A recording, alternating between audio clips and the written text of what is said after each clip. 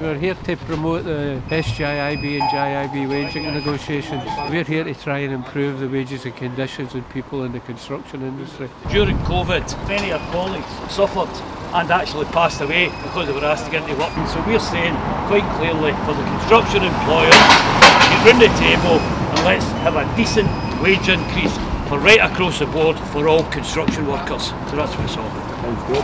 This is one of the biggest sites just now currently in the Central Belt. FES, one of the leading electrical contractors, are the biggest employer on here for electricians. We're talking about well over 100 uh, electricians. But the interesting thing is that there's about six pound of difference if you go through an agency. Let's get this sorted out, lads. Let's get it sorted out.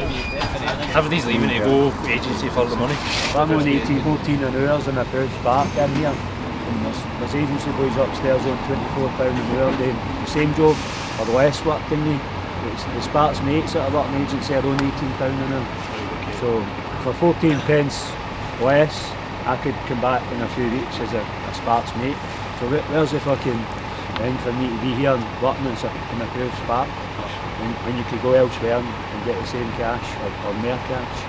I mean, £24 an hour is a, a big jump. It used to be the agency boys get a wee pound there, or, or 150 there, and that made up for like, holiday pay and stuff, but £6 an hour, the difference now.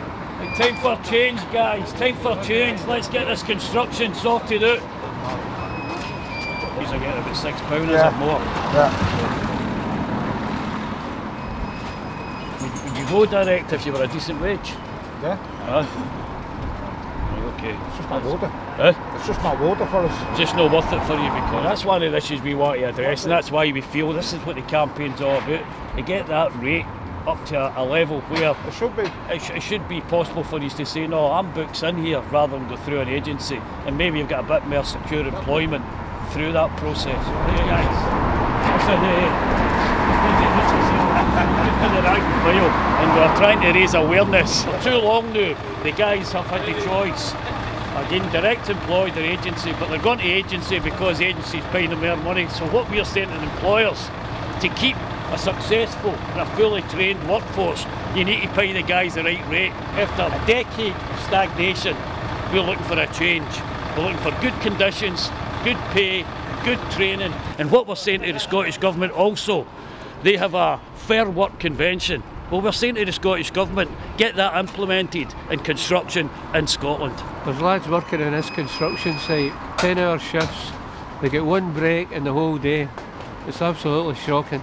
You go back 20 or 30 years, you get three breaks a day. This site is only a matter of maybe 400 yards away from Unite's Scottish office in Glasgow, and uh, we have yet to see uh, or hear of anybody from that office attempting to organise this site. They have a manager who's a health and safety manager with Multiplex, and he doubles up as a trade union rep. It's a complete fraud. Unite should be ashamed of themselves. Glasgow Uni, there was uh, Paul Mooney. He was one of the Unite guys uh, that was there. Uh, he was there for the whole time I was there anyway.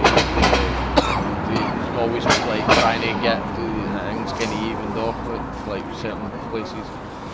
Did he deal with the sparks? up Aye, he dealt He's employed by Multiplex, Aye. but he's like the Unite representative. But in the Southern General, he was the UCATT representative, so he just he just wears a different hat, whatever job he's on. Is that sound trade unionism? Well, I don't know. I mean, if a, a rep just follows a company about and you're Uh, of course employed by the company. biased, right, Aye. okay, so we're, we're looking for, for, as I said, to grow the union on these sites and get a, a accredited rep on that that will look after the, the, the various trades that we represent. You know, somebody that's just employed by the, the main contractor. Yeah, yeah. Multiplex, apparently Unite the Union in Scotland has a recognition deal with them.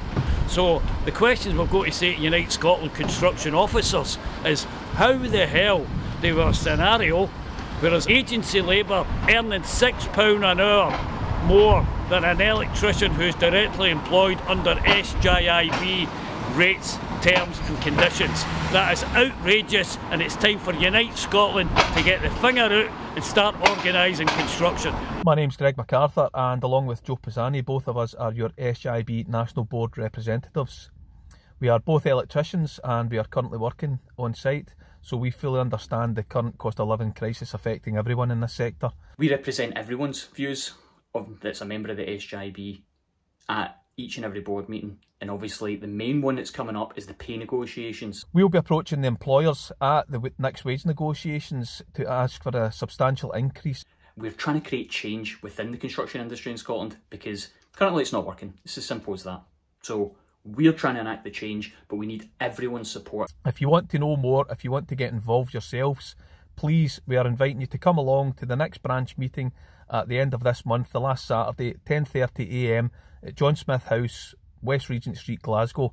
If you're a Unite member, you're entitled to come along there and raise your views, and you can speak to me and Joe in person. If you're not a member of Unite the Union, come down to the last half hour branch meetings because there we can have an open discussion where we can talk about all the issues that the SJB is facing and we can move forward by a unified plan. So please come along, show your solidarity, and get involved. If you join, fantastic. You can then get your vote in the wage negotiations that are coming up. We're trying to put pressure on people to come down to this side. Aye. Okay, to get in there rather than us standing out here. Sit down in the canteen, speak to people, tell them what the issues are, and hopefully they'll then join the union. And then through that strength, the collective of this, we'll be able to kind of go forward. Know what I mean? So just scan that, try, try and do that.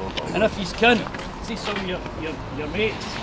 How do we do it? Oh, do we scan that Just scan, and scan that, you'll see there's a survey and all that, and, and, and you take it from there. But we'll be back down, we'll be back down to speak to you again. Aye, cool. Okay? Right, Good, thanks. It's young to be on the wrong side.